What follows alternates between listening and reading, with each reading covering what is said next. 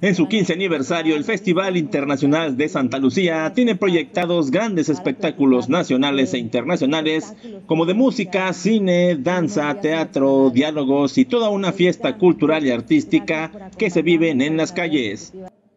Al darse a conocer la segunda parte de la programación por parte del Festival Santa Lucía, Melissa Segura, secretaria de Cultura, dijo que el gobierno impulsa este festival para que la cultura llegue a todos los rincones del estado.